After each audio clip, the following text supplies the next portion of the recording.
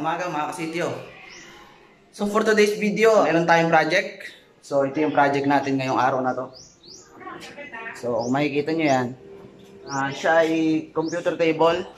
Gagawin natin siya ngayong cabinet, hanging cabinet. So nakita niya yung ating gawa sa YouTube. So, sinabi niya sa akin kung pwede ko daw itong matransform sa isang hanging cabinet. Sabi ko, susubukan ko. So, so from computer table to cabinet. So ang gagawin natin ngayon guys ay kakalasin muna natin siya.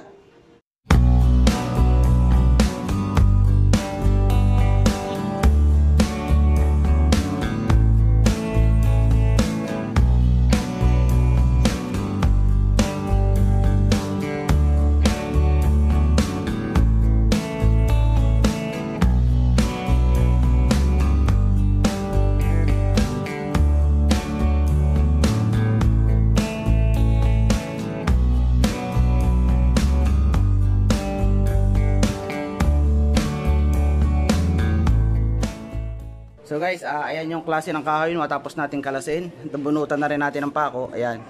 So kaya nagkaganyan yan kasi mystic well siya. Nung pagbunot ko, ay nadala talaga siya. Hindi yan may iwasan sa mga ganitong scrap materials. So ang ginamit dito ay plyboard na China. So pakikita ko sa inyo. Ayan. Ganyang klase ng plyboard na China. Kita nyo, kawang-kawang. Ayan, makikita nyo, ito oh. Ayan oh kita na yung likod. Ayan. Ayan yung plyboard na China compare dito sa ating binibili na plyboard so makikita nyo ayan oh. purong puro. So makikita nyo malalapad yung kahoy na ginamit. At saka dito naman kita nyo naman oh, parang yung mga patpat lang dyan sa tabi.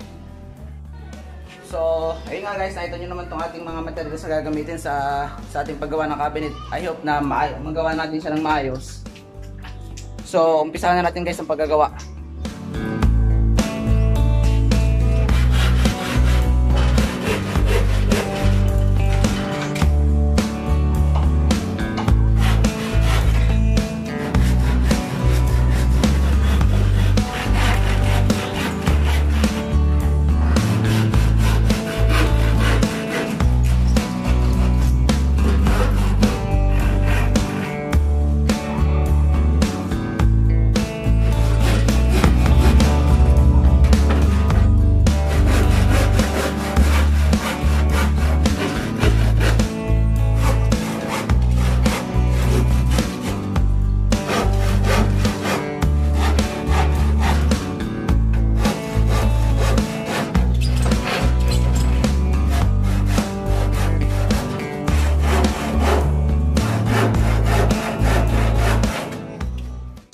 Bali guys, ayan, nagayat na natin yung ating ah, apat na pang division.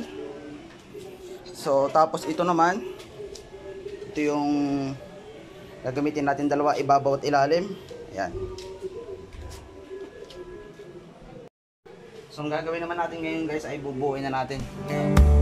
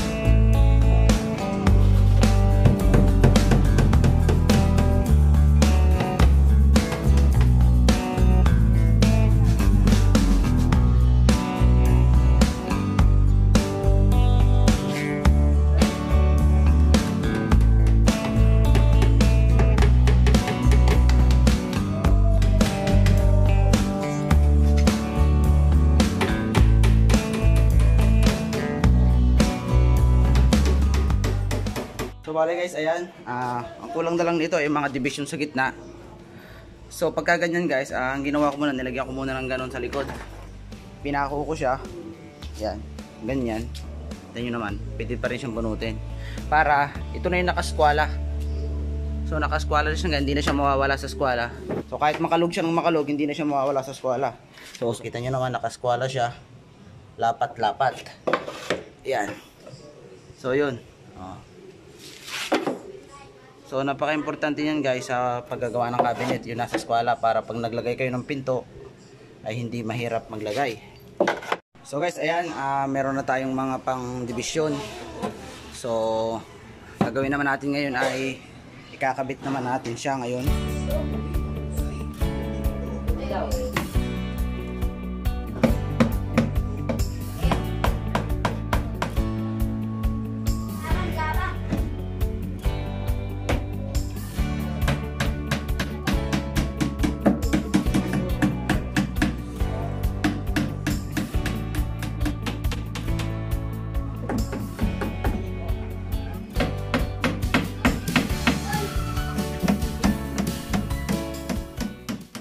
bali guys, ayan, natapos na natin yung pinakang forma niya.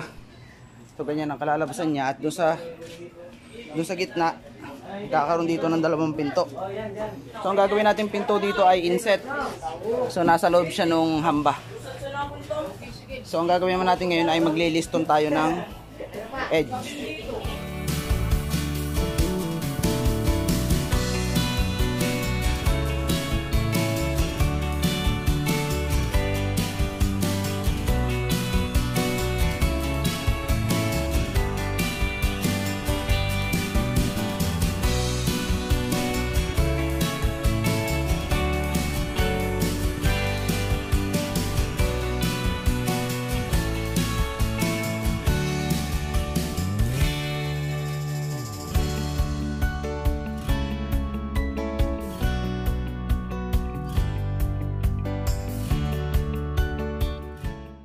Guys, ah, tapos na nating lagyan ng liston.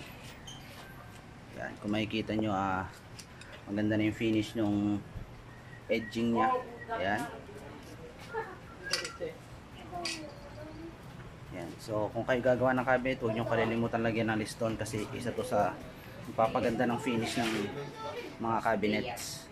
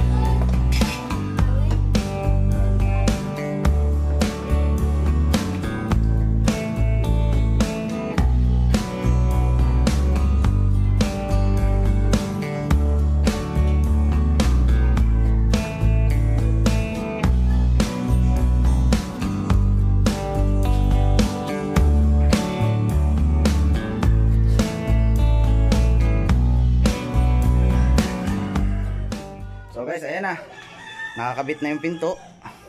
Yan. So nga pala, ah, first time ko magkabit ng inset na pinto kaya hindi pa siya ganun ka-perfect. First time, makikita nyo may mga imperfection pa pero may improve natin to sa mga susunod. Pwede na yan sa unang beses nagkabit. Ayan. Makikita nyo. So yun nga guys, ah, nakatapos na naman tayo ng isang project. So kita nyo naman, ah, ito ay ka- ito ay computer table dati, ngayon ay transform natin sa sa cabinet. So ayun nga, dadalhin na natin siya ngayon sa doon sa nagpagawa. So kung bago ka pa sa channel na to, click mo na yung subscribe button at ah, click nyo yung notification bell para lagi kang updated sa ating mga ina-upload na video. So maraming maraming salamat guys sa pagsuporta dito sa ating munting channel. Maraming maraming salamat sa panonood. At see you sa ating susunod na video. Maraming maraming salamat. God bless.